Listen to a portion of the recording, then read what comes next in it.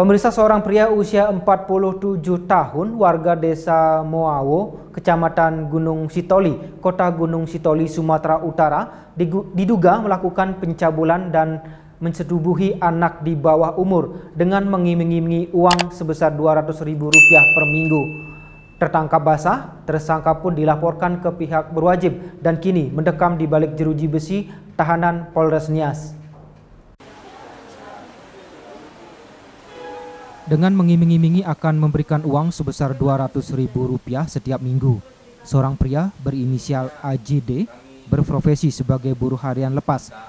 Berhasil meyakinkan seorang gadis yang tak lain adalah tetangganya sendiri dan masih di bawah umur untuk menjalin hubungan dan bahkan hingga melakukan hubungan layaknya suami istri. Padahal diketahui AJD masih memiliki istri dan dua orang anak. Sial bagi AJD saat tengah melakukan aksi cabulnya dengan si gadis malah terpergok. Akibat perbuatannya tersebut, AJD pun dilaporkan oleh pihak keluarga si gadis ke pihak berwajib. Dari hasil penyelidikan polisi, tersangka mengaku berpacaran dengan korban sejak bulan Januari 2020 yang lalu.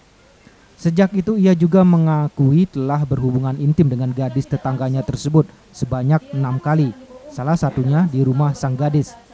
Guna meyakinkan si korban, AJD juga menjanjikan memberikan uang Rp200.000 setiap minggunya dan meluluhkan hati si korban.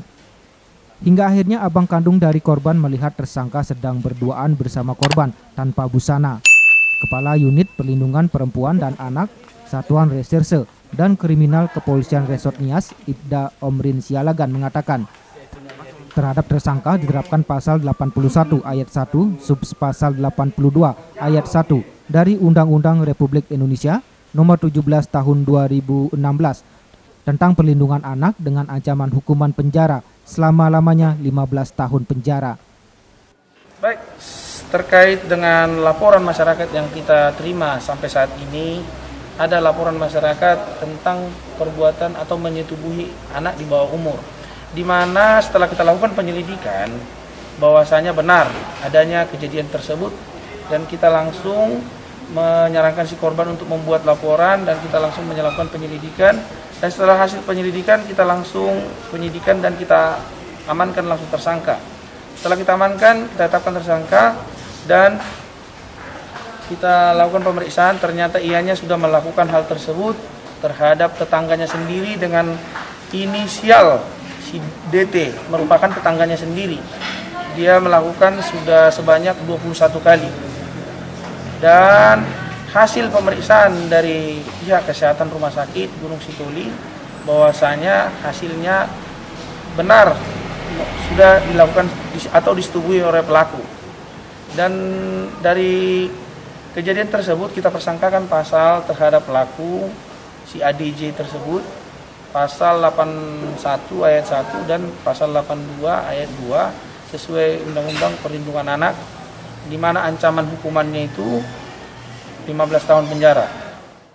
Korban berinisial DT umur 16 tahun merupakan siswi SMA kelas 10.